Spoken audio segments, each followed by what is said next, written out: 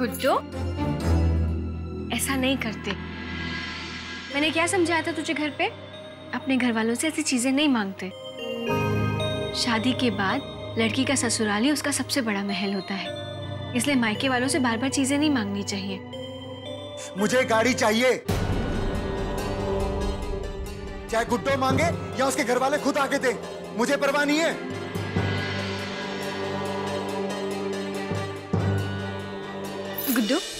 तू अंदर कमरे में जा।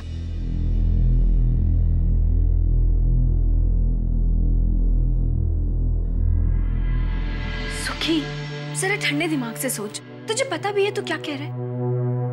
क्या इज़्ज़त रह जाएगी हमारी उन लोगों के सामने? क्या सोचेंगे वो हमारे बारे में?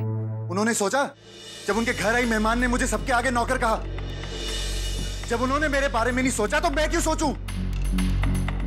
पहली बार तो गुड्डो के घर वालों से कुछ मिल रहा था। इतनी मुश्किल से उसको समझाया था। उसके दिमाग में बात डाली थी कि गाड़ी मांग। लेकिन तुमने आकर कह दिया जी नहीं हमें कुछ तोहफा नहीं चाहिए।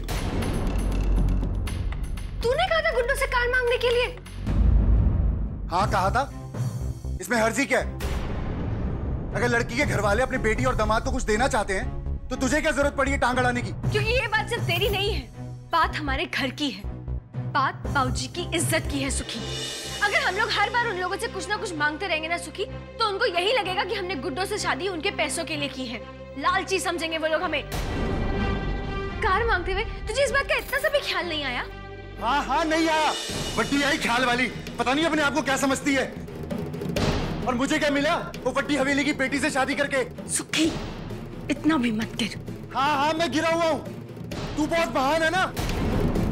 अब तू जाके उनसे कार की चाबी मांगेगी। समझी? नहीं। तुझे ना सही लेकिन मुझे भाऊजी की इज़्ज़त की परवाह है। नहीं मांगेगी तू? हाँ? तो देख। देख अब मैं क्या करता हूँ। गुड्डो गुड्डो चल अपनी प्रीत बहन जी को फ़ोन लगा और बोल मुझे गाड़ी चाहिए। नहीं मैं फ़ोन नहीं करूँगी। रानो दीदी ने मुझसे कहा है कि शादी के बाद घर वालों से कुछ मांगना नहीं चाहिए। मैं नहीं सुखी। रानो दीदी की नहीं मेरी बात मान। मैंने कहा ना फ़ोन कर तो फ़ोन कर। मैं नहीं करूँगी। देख गुट्टो मैं आखिरी बार कह रहा हूँ फ़ोन कर। नहीं करूँगी मैं फ़ोन।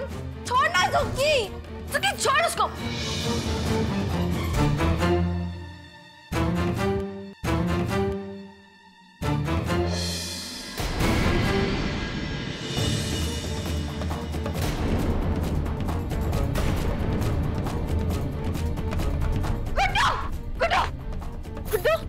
गुड्डो गुड्डो गुड्डो क्या हुआ गुड्डो गुड्डू गुड्डो आँखें खोल